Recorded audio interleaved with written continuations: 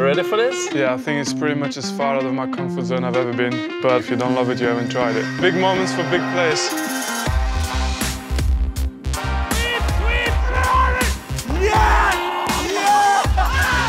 Today, I've ticked the box. I've done curling and, and I like it. It's a, it's a brilliant game.